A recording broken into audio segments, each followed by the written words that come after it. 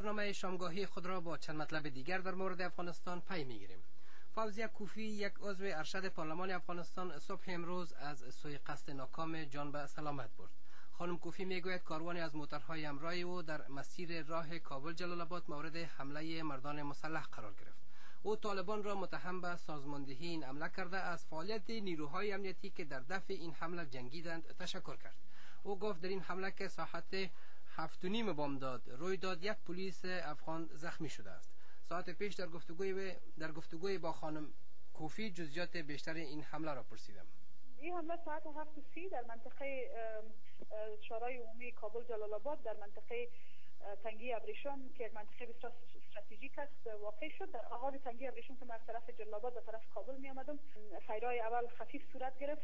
طبعا مسئولین امنیتی پلیس اینا همراه ما بودن اونام به عمله بالمثل پرداختن بعدا باز چون موتر ما سرعت گرفت این عملات شدیدتر شد با پیکا و با سلاح سقیله همراه بود تقریبا در حدود 25 دقیقه تا نیم ساعت.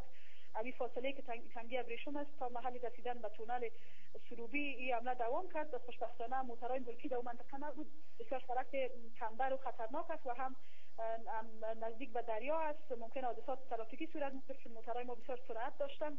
یعنی به سرعت از این منطقه همزمانی که جنگ می‌کرد همزمانی که دفاع می‌کردن همکارای ما همکارای امنیتی ما و پلیس محترم که ما بودن. ما به سرعت از محل می‌خواستیم دور شویم.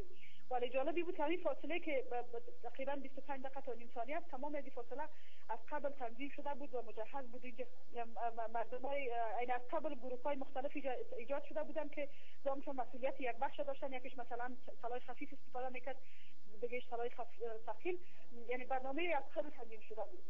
بله شما گفتین که جنگ تقریبا نیم ساعت دوام کرد و نام گروه های را گرفتین. اما نگفتین که به نظر شما در پشت از این دسیسه کی قرار داشت؟ این منطقه یک منطقه استراتژیک است و در گذشته ها طالبان در این مناطق بیانیه‌ای را ایجاد کرد.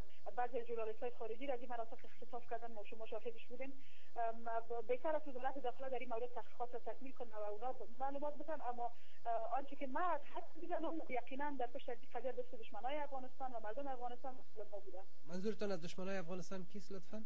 گروهایی که در برابر دولت مردم افغانستان میشنگن طالبان و القاعده و گروههای وابسته به اونا.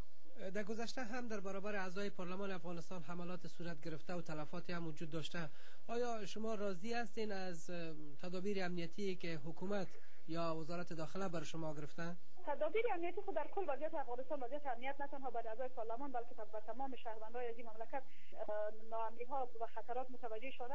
ولی این مناطق مناطق استراتژیک هستند که ما قبلا گفتیم در گذشته هم خطرات بوده. باید وزارتخانه زیره هر ارگانی که مربوط است داخله یا دفاع اینجا پوسته ها را احراز کنند تا اونا دقیقا جلوگیری کنند از عملات در آینده ها و در قسمت اقدام وزارت داخله بسیار به موقع وزارت داخله اقدام کردن برای نجات و برای همکاری. اما ما فکر می‌کنم تدابیر باید پیشگیرانه باشد اینجا پوسته ها باید احراز شود خصوصا تشخیص مناطق استراتژیکی مناطق مناطق کوهستانی راه های تبول داره و بسیار لانه خوبی برای رشد تروریسم می‌تونه باشم تو گزارش شده بود که شما از شهر جلال آباد به طرف کابل در حرکت بودین که حمله علیه کاروان شما صورت گرفت. به کدام هدف رسمی رفته بودین کدام ماموریت داشتین یک برنامه سیاسی داشتیم یک برنامه سیاسی داشتیم به خاطر کارهای سیاسی رفتیم دیروز و دیروز پس می‌خواستم بیایم اما مسئولین امنیتی که ما بودن اونا مشورهشان این بود که ما باید فردا یک شب در میان حرکت کنیم چون از طرف روز اطمینان بیشتر وجود داره مبنی بر کم بودن خطر. ما با مشوره از اونا عمل کردیم امروز آمدیم و در نتیجه هم به اصطلاح جنگ مواجه شدیم. گفتگوی بود با فوزی کوفی عضو پارلمان افغانستان که از سوی قصد به جانش جان به سلامت برده. او طالبان را مسئول این حمله دانست.